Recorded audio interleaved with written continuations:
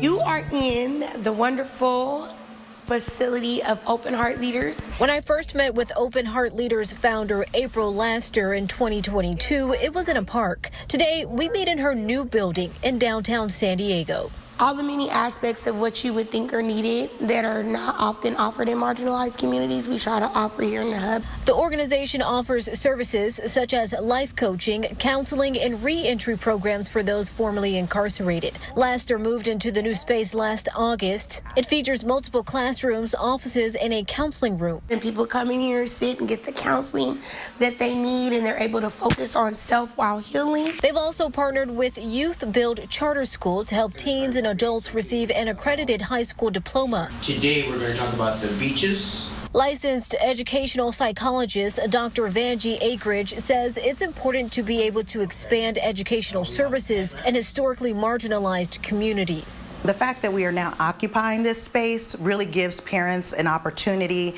to engage with people who understand um, their lived experience, their cultural background. Laster says the facility is not just for open heart leaders, but can serve as a meeting spot for other organizations. And though she's grateful for the bigger space, Laster doesn't plan to be here for too long. Because my vision and my heart stands, we will outgrow this space um, and we will continue to expand. Nia Watson, ABC 10 News.